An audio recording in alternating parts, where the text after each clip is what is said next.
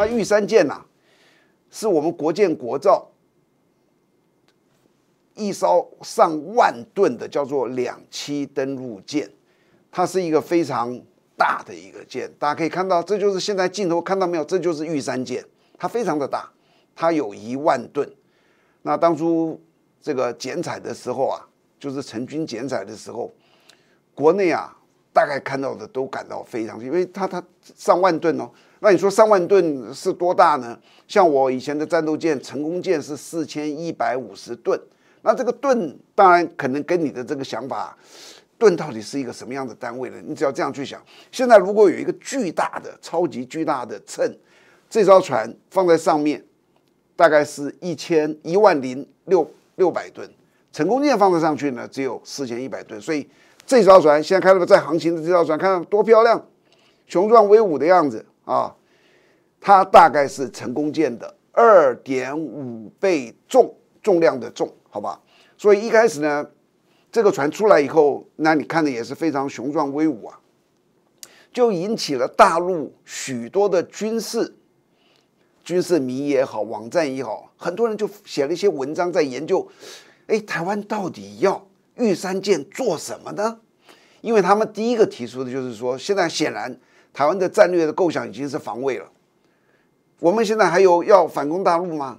没有了，我们就是防卫而已。那这艘船是标准的两栖登陆舰，它是为了要当初是为了反攻大陆的。那你今天既然反攻大陆不是我们的一个战略目标，那问你什么时候用得到？收复一个外岛吗？也不太容易。收复外岛也不是靠它啊，还我们还有别的船呢。所以大陆的这些军事迷就的第一个就好奇，说写了很多文章哦，说这个东西完全不符合台湾的战略的目的，因为你是防卫。因此他们想说，那到底在战时他能够做什么事？他们就写了很多的各种各种不同的可能，长篇的分析，最后他得到了一个结论，那个结论。我看完以后，其实他讲那些别的东西，我也没什么意见。这个东西本来在暂时你要怎么做都可以随你。但是他最后那点写完之后，使我决定要今天第一个开始要讲的话题就是这个话题。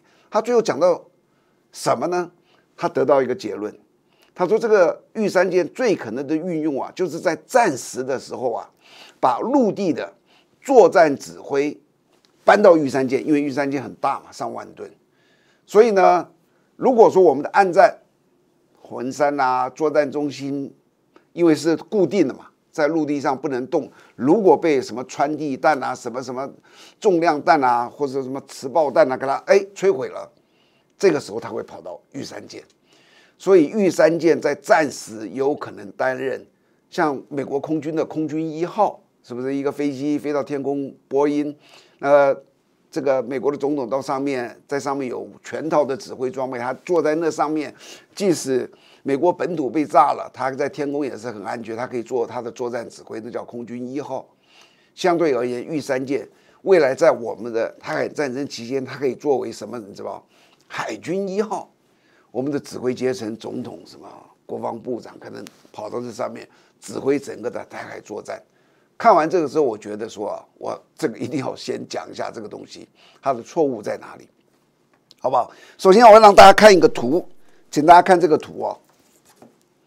这不是图啊，一个表。这里呢，表我给大家特别的说明一下。红的这里是玉山舰，这是成功舰。我们比一下哦，玉山舰吨位一万零六百，成功舰。吨位四千一百五十吧，大概四千一左右。造价记住啊，造价多少钱？这么大的一艘船，造价是四十六亿台币，大约这个数字。你们看到成功舰没有？一百五十亿台币，成功舰足足比它贵了一百亿台币。这么小的一艘船，为什么比它贵一百亿？那这是我们 Google 上面拿下来的资料，你注意看一下哦。它这中间两项，Google 上面有写它的装备，它的装备它列了很多，中间有一项叫做射控装置，你看没？它有这么大一串，你不必去看细的，有这么大一串。它呢，玉山只有一个。那接着下来这个征收系统，它有这些，其实这些你懂的话，就是这些都很简单。那它的征收系统呢，有这么多。你知道一个战舰的贵是贵在哪里？贵在这些电子装备，而不是船的大小。然后这好电子装备中间有一项，我跟你说明一下，这成功舰的叫做 CIS Two，叫做自动侦测以及追踪系统。这个东西在成功舰上是有的。这个 CIS Two，这个红的这个区，这个东西在干什么？你知道吗？现在我们可以把这个表拿开，这个东西在干什么的？我如果在成功舰打仗的时候，我很忙，或是当时我高度紧张，我没有办法做很理智的判断，我可以把这个整个战斗系统切换到刚刚 CIS Two 来指挥作战，那叫自动作战。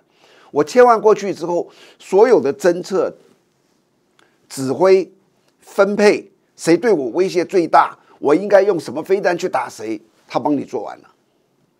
所以在那个上面的话，就算我再笨再呆，我什么智慧都没办法做的时候，他给我上面那个灯红灯一亮，就是说你按这个红的下去，这个飞弹就发射出去了，就这么简单。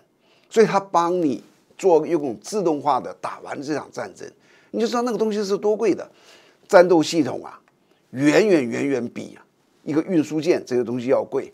那你可以看得到，刚刚玉山舰。玉山舰，如果我们用我们人来做一个比喻的话，虽然它很年轻，但是因为它的征收系统很便宜、很简单，所以它是一个第一个近视、大近视，第二个耳朵重听，它根本没有办法去打架。我们人，你说我这个又听不清楚，又看不清楚，你打什么架？所以玉山舰原则上不是一个战斗舰，它跟战斗舰差了十万八千里。它就是一个运输舰，好吧？这是玉山舰的它的基本的功能。那你说，那既然这个样子，它在战时它能做什么？它在战时的时候啊，它因为它还是可以接到陆地给它的指挥，就是陆地有个作战中心，叫它到哪里到哪里。它船上还是有些飞弹的，那陆地的作战指挥中心告诉他，这个飞弹你去打谁，它可以执行这个任务。这个任务跟一万吨的这么大的船啊，执行这个任务跟一个飞弹快艇是一模一样的。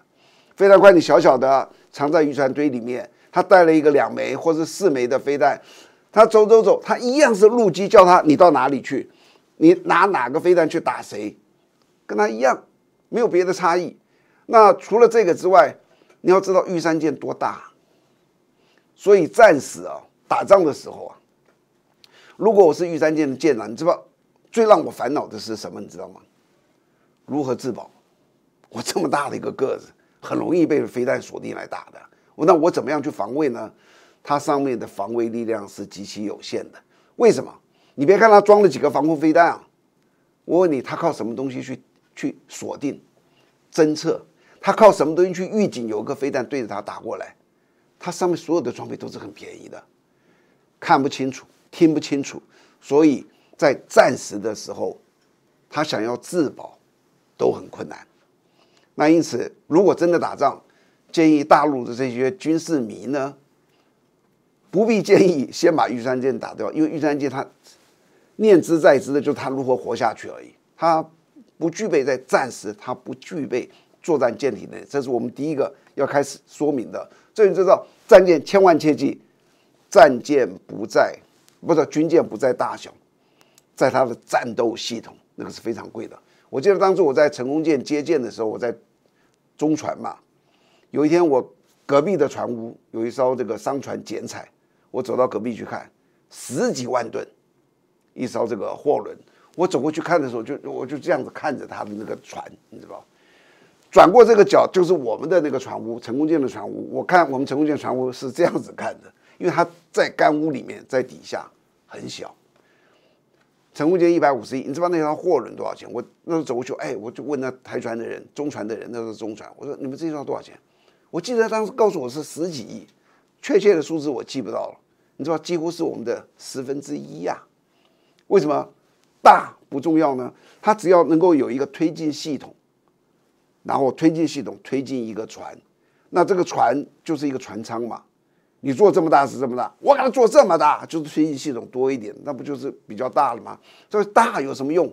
千万切记，你凭借军舰能做什么事的时候，不要看它的吨位，看它上面的装备，战舰就是战舰，运输舰就是运输舰，不要把这些功能搞混了。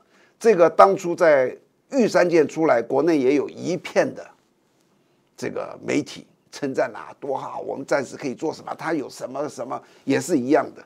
那同样的，这一次大陆的登这个说，哎，暂时一定要先把玉山舰打掉。国内也有媒体跟着登，那篇文章还很长啊。我整个看完之后，我就觉得这个东西毕竟是军事比较难跨入的，你们很难去确切的看到一些它真正的一些效果是怎么样呈现出来。太阳星全效克菲尔益生菌，我吃了两三天，最明显的感觉是睡眠品质竟然变好了。睡得好，让我整个人工作更专注，心情也变得更稳定更好。因为太阳星全效克菲尔益生菌，才让我认识到克菲尔益生菌，它是由多支菌种的益生菌所组合而成，不仅能够维护消化道机能正常运作，还拥有多种有益健康的保健功能，相当强大。你知道吗？有台大教授专门研究它，称它是神仙的礼物。上千篇的国际研究证实，克菲尔益生菌不仅帮助肠道健康，肠道菌透过肠脑轴影响全身器官，所以维持肠道菌丛的平衡是解锁身体健康、精神健康的钥匙。对帮助睡眠、维持好情绪真的很有感。也因为这不是药，有季节敏感、代谢困扰、关心恶性细胞风险的好朋友，选择太阳星全效克菲尔益生菌，做好日常的保养，身体健康没负担。每日克菲尔，时刻美好，Good feel feel good，请上快点购健康下单，输入我的推荐代码，有额外的折扣。